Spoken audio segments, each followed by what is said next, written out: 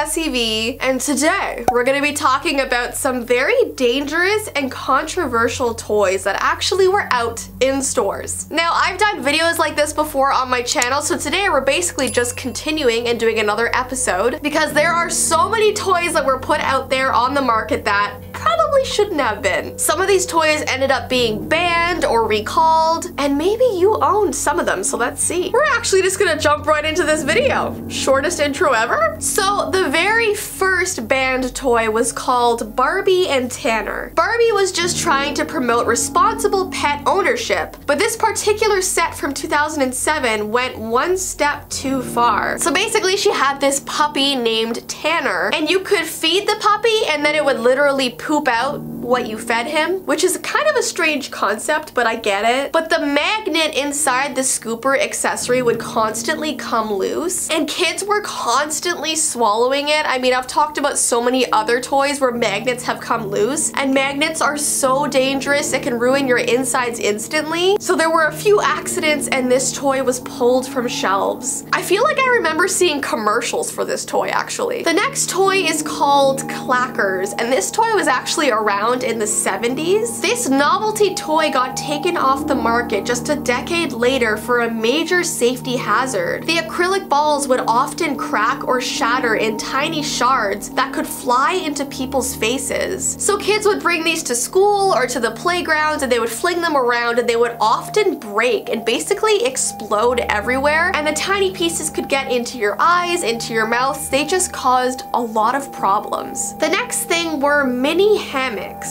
You've probably laid in one of these hammocks growing up, but they had to recall approximately 3 million mini hammocks in 1996. The reason they did this was because 12 children actually died playing on these hammocks. If you think about it, hammocks are basically just made out of loose ropes and sometimes kids would actually get tangled up in it and couldn't free themselves. It's just so weird to think back to my childhood because I was always on hammocks. I mean, they had them at my school, at my summer camps. My grandparents had hammocks for my sister and I. It was like a common thing back then and you barely see them anymore. And if you do, they're never really made out of rope. The next item is rollerblade Barbie. Out of all of Barbie's careers and hobbies, this one from the 90s definitely caused a firestorm. So whenever she would skate around, sparks would literally come out of the back of her rollerblades. So if you rolled her over like a flat surface, she could catch anything around her on fire. I don't know why they thought this would be a good idea, but flammable Barbie is a very bad idea. So obviously this was recalled because you should not be giving kids items that actually spark. I mean, rollerblade Barbie sounded cool as she was. Did she really need that extra thing? The next item is a Hannah Montana pop star card game, which sounds so random to be on this list. Like, why would that be bad? It was so alarming because this card game contained a whopping three 3,000 parts per million worth of lead. Now they say that lead is the second most deadly household toxin in existence. So no toy out there should contain more than just a little tiny bit of it. And there should be none at all. But this card game had so much that people were actually getting sick just playing it, which is terrifying. Does Miley Cyrus know about this? Like imagine getting sick from a card game. You would never imagine that. The next item item is the Fisher-Price Power Wheels. This popular Fisher-Price battery-powered ride was a fire hazard in the late 1990s. The company had to recall 10 million kitty cars and trucks after 150 reports of fires. So what's terrifying is that this little car would actually just randomly catch fire. They would even catch fire when no one was even playing with them or moving the car. They could just be sitting in your garage or sitting in your room and suddenly just like poof.